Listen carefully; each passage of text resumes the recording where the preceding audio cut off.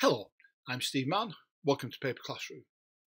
In this uh, continuing history section, we're going to talk now about uh, paper machines. We're talking about machinery now. We've gone past handmade paper and we're on to machines.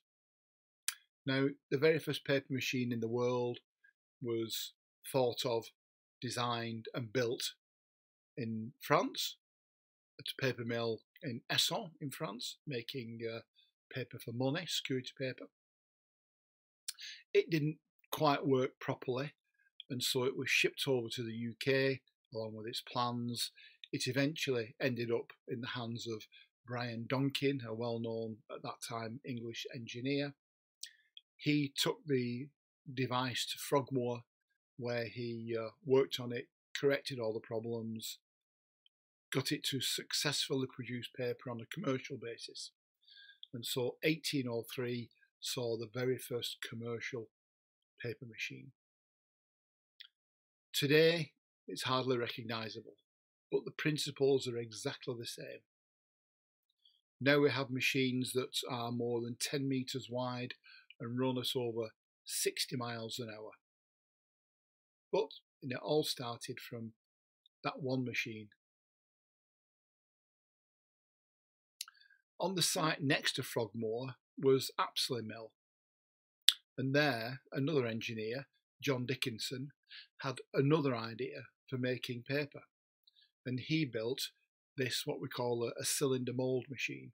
I couldn't find a, a picture of an old original cylinder mould machine, so here's a fairly modern one.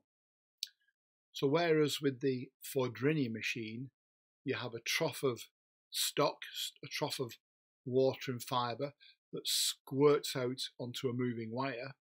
In this design, you have a trough of stock and the moving wire is actually immersed in the stock. As the wire revolves, water passes through the wire, fibres are carried with it, they get stuck on the outside of that cylinder's wire, and then it's taken off at the top of the wire. Um, these particular cylinder mold machines are absolutely ideal for security papers because you can get three-dimensional watermarks with these, whereas with the traditional Fourdrinier, you can only really get two-dimensional watermarks. The uh, cylinder mold and the Fourdrinier fought for market share in those early years. The Fourdrinier won because in theory there's no limit to how fast the Fourdriniers can go. Um, with these type of machines, because of the revolving action, stock can get thrown off. So you're probably limited to no more than uh, 80 or 90 meters a minute maximum. And of course, you can join cylinder molds together. Here is one configuration where we've got nine different cylinder molds different furnishes in some of them, producing a nine layer board. Those are all examples of single wire machines. There are also twin wire machines, and there are two types of twin wire machine. There's the twin wire former and the twin wire Fourdrinier.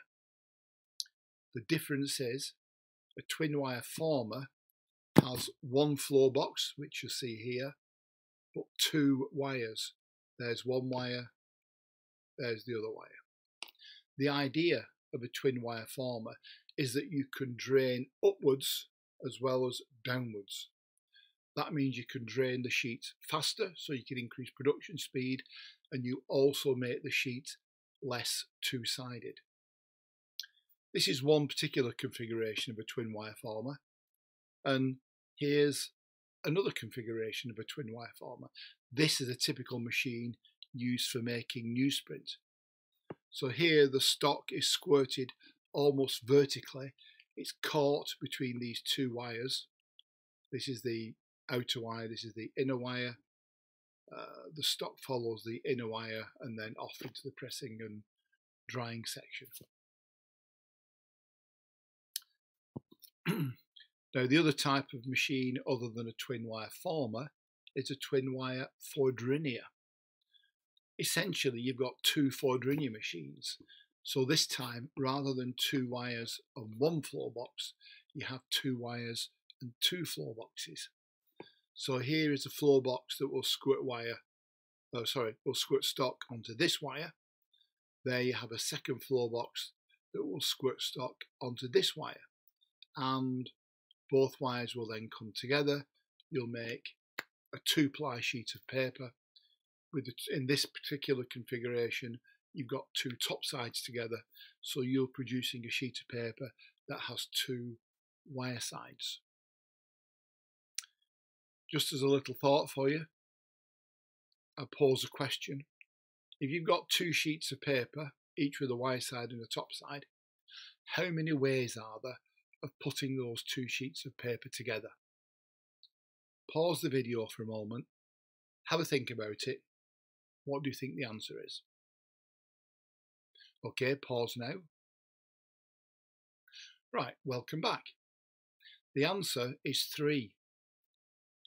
In this configuration, you've got two top sides coming together to give you a sheet with two wire sides. You could also have a configuration where you put two wire sides together to give you a sheet with two top sides. And you can also put them together like that. So you've got a wire side and a top side. So the final sheet also has a wire side and a top side. Well, how many of you got that right? Congratulations if you did.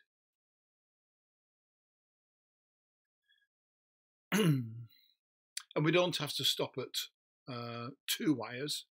This is a configuration with four wires producing a four ply sheet of paper, but five ply is also quite common.